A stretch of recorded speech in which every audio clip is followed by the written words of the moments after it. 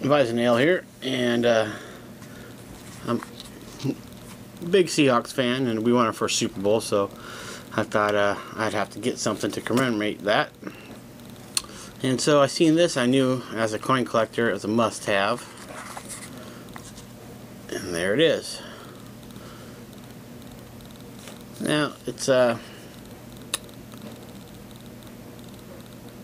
39 millimeter 24 karat gold flash limited edition 10,000 um, so it's just you know something that as a Seahawk fan limited 10,000 had to have it and a coin collector. Yes only flash 24 karat gold but it was only 40 bucks. Check that out. I think it's pretty cool. I think it says what does it say there?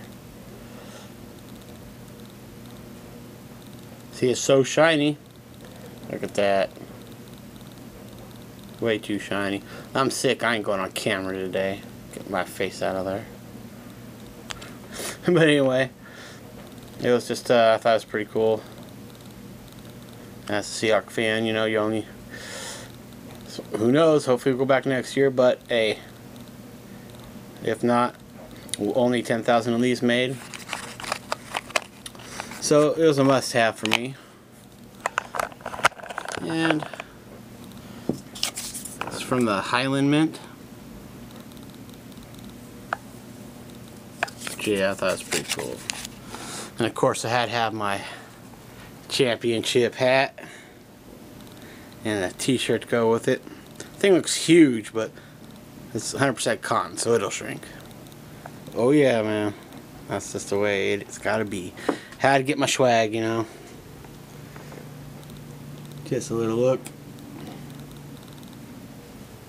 Oh yeah. Go Hawks, baby. Alright, thought you guys might get a kick out of seeing co this coin unless you're a Broncos fan. But look at that, that sucker's super shiny. Alright guys, that's it. Hope to have some more silver one of these days. I don't know. Money's getting tight, man. Hopefully I don't have to sell. Alright guys, take it easy.